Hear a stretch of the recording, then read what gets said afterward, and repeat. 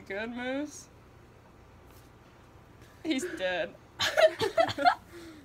we put his we put his no hold on, don't flick it. We put his arm behind his ear and now he's just high. I promise he's not dead. Look, oh, oh, there he is. Now he's awake. Well, we know what makes him high.